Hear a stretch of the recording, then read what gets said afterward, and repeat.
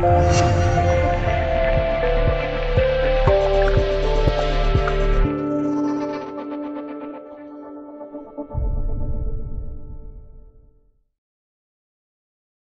近，由中美联合拍摄的电影科幻灾难电影《巨齿鲨》热映，被誉为是鲨鱼类电影巅峰之作。杰森斯坦森、李冰冰等明星在片中有非常抢眼的表现。而巨齿鲨出现在三亚近海时候，海滩上密密麻麻的人头，让很多去过三亚的观众会心一笑。看过影片后，一个网友向我提问：巨齿鲨那么厉害？那么现在的核潜艇打得过这种史前的深海霸主吗？图片：巨齿鲨海报，可以看出巨齿鲨的体型。图片：李冰冰在巨齿鲨中有精彩的演出。巨齿鲨这种巨兽，由于形成代谢需要大量的食物，随着两极的变冷，不再适合巨齿鲨生活，而大型的鲸则能够在极地活动。这样，在缺乏食物的情况下，巨齿鲨灭绝了。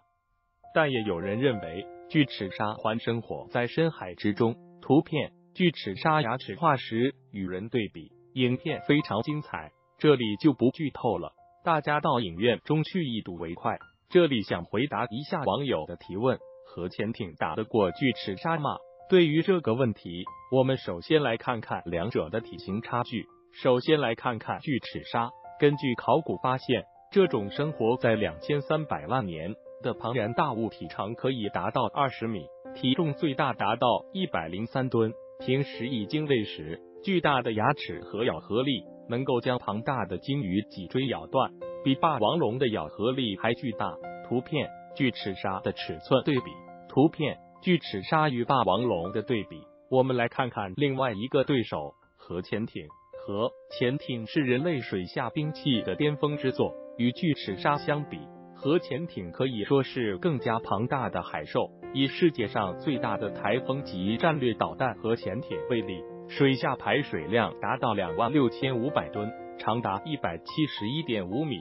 最大的巡航导弹核潜艇奥斯卡级水下排水量两万四千吨，长一百五十五米。美国海狼级攻击核潜艇水下排水量一万两千一百三十九吨，长一百零七点六米。这些人类制造的潜艇，在巨齿鲨看来，是一种远比其庞大的海底怪兽。就这体型的差距，就可能让这些懂得趋利避害、动物本能的鲨鱼远远的逃离。图片：台风级与一艘攻击核潜艇相比，可见其体型实在太大。从感知设备来说，现代核潜艇拥有完整的声纳体系。以海狼级核潜艇为例。装备有 ABQQ5D 整合式声纳套件，包括音鼓直径高达六米的舰首主被动球形阵列声纳，位于舰身两侧的 ABQK5 宽孔被动阵列声纳，TB16 与 TB23 被动式拖曳阵列声纳各一，舰首还有一具 ABBQS 二十四高频近距离主动声纳，可以探查冰下环境和水雷侦测。这些高灵敏度的声纳系统可以及时发现深海中的大型鱼类，像巨齿鲨这样庞大体积的大鱼是逃不过现代声纳探测的。图片：现代核潜艇水下机动性非常高，探测和攻击手段多样化。再说攻击手段，巨齿鲨的主要攻击方式是巨大牙齿的咬合度，但是对于比自身体积庞大的多的核潜艇来说，巨齿鲨的大嘴以及牙齿可能就有点无从下嘴了，而现代核潜艇的高强度钢以及一些钛合金核潜艇，其艇体的坚固程度可以达到磕破鲨鱼牙齿的程度。而当巨齿鲨来袭，潜艇可以发射气幕弹进行威慑。气幕弹是反鱼雷的一种无源干扰手段，结构简单，成本低廉。发射后，气幕弹中氧化钙与海水会产生剧烈反应。形成巨量的气泡，这主要是为了隐蔽潜艇自身的噪音，并干扰声导鱼雷的探测。这种防御手段对于巨齿鲨来说一样有效。巨齿鲨在发现突然出现的巨量气泡后，在不明情况下会放弃对潜艇的攻击。图片：俄罗斯奥斯卡级攻击核潜艇拥有拥有六百五十毫米大型鱼雷发射管，作为攻击手段，潜艇在发现巨齿鲨后。可以采用鱼雷攻击，生制岛或者是有限制岛反潜鱼雷将成为巨大海怪的杀手。我们不知道巨齿鲨游起来的速度，虎鲸可以达到五十五公里每小时。就算巨齿鲨的航行速度更快，料想一百公里每小时就顶天了吧？而俄罗斯的六十五型反潜鱼雷航速六十节，也就是一百一十一点一二公里每小时。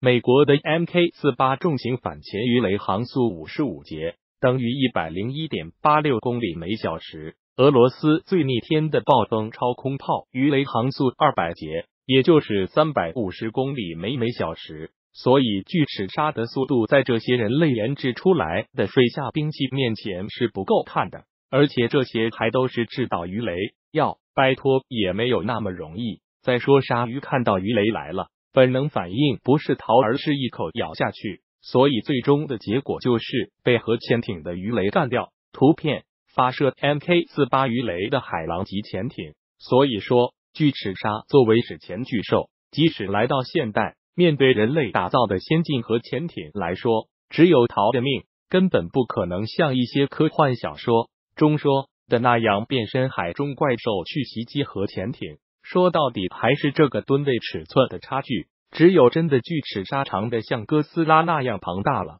才有资格与人类的水下巨兽一较高下。图片真的要和军舰或潜艇对着干？巨齿鲨真的长的像哥斯拉怪兽那么大？最后想说的是，有些网友评论很有意思，就算是巨齿鲨出现在现代海域，根本都不需要动用核潜艇这种军用船只，只要说巨齿鲨吃了能够补气养颜、延年益寿。估计人们使用民间船只都能够将巨齿鲨捕捞的再次灭绝。对于人类而言，就算是巨齿鲨重新出现，充其量也是人类餐桌上的又一道美味吧。图片：电影中三亚浅海中的巨齿鲨，这个体型也就是吓吓人类，在核潜艇面前真不够看。图片：真正的海洋巨兽是还是这些庞大的核潜艇？